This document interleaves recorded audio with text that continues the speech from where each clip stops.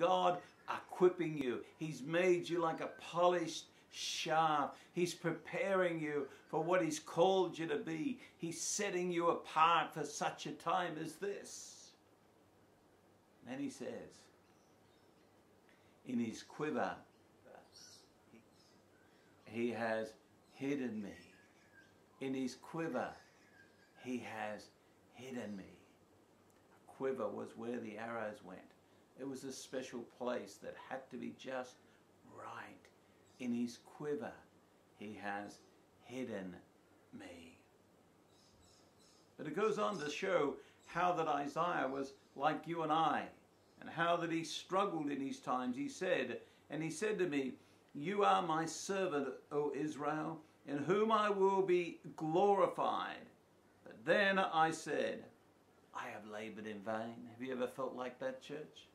Ever felt like all your work's just gone on to the hard, rocky ground and hasn't produced fruit, hasn't produced the seed that you wanted to see? You've witnessed to your mother and your father, you've witnessed to your brothers, you've witnessed to your workmates, but just do not see the product of your harvest. This is what Isaiah is saying right here. And I said, I have labored in vain. I have spent my strength for nothing and in vain. Yet surely my just reward is with the Lord, and my work is with God. It doesn't matter what we see with our natural eyes. God's in control. God's in control, church. God's in control. For he says then, and now the Lord says, who formed me from the womb to be his prophet. Down in verse 6 it says this Is it too small of a thing for you?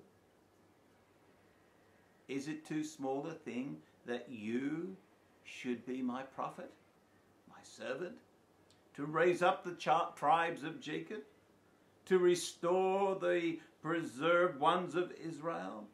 I will also give you as a light to the Gentiles, that you should be my salvation to the ends of the earth. And then in verse 8 he says, we don't have time to enlarge in all of this. I'll touch briefly. It says, in an acceptable time. You see, God formed us in our mother's womb. God commissioned us in our mother's womb. God set us apart in our mother's womb. God empowered us in our mother's womb. But in an acceptable time, I have heard you.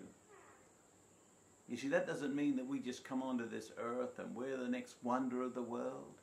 There's a process. Moses went through 40 years of training under Pharaoh. Moses went through 40 years of training in the wilderness. There's a process in an acceptable time. And I'm here to tell you, as I'm looking down this lens, and as this lens will go throughout the nations in the next short period of time, I'm here to tell you in an acceptable time. There's someone listening to this right now. Your time is now. Your time is now. In acceptable time I have heard you. In the day of salvation I have helped you. I will preserve you and give you as a covenant to the people to restore the earth, to cause them to inherit the desolate heritage. Here we see our position. Here we see also the natural fight. God has called us to be kings and priests. But the natural fight is a process. Moses didn't feel like a king when he was in the wilderness. Moses didn't feel like a prince of God when he fled from Egypt. He felt just like Isaiah felt. And you may be feeling that way right now. But remember, you are what God says you are. From Exodus chapter 7 and verse 1, and we don't have time to go through it because we're going to finish up now. But from Exodus chapter 7 verse 1, we see four things. We see that God has commissioned us. Secondly, that God hath clothed us with his power. Thirdly, that God has filled us with authority. And then, fourthly, that God equips us for our calling. Over the next few weeks, we will look at each of these and begin to open them up.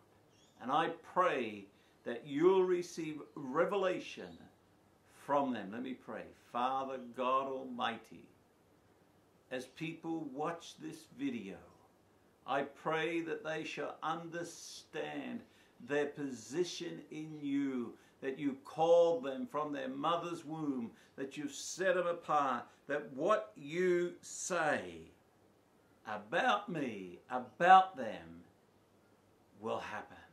Father, right now, touch each and every one of them. That person out there ready to walk away from the ministry, touch them. Let them catch the revelation of this word. That person ready to walk away from that marriage, speak to them right now. Almighty God, speak to them right now. Restore that marriage, I pray. That one, Lord, that's been crying out for that baby, birth that baby inside. Allow the, the, the, the infinite activities within the body, bring those eggs together to form another prophet for Jesus Christ. I pray it in Jesus' name. Amen.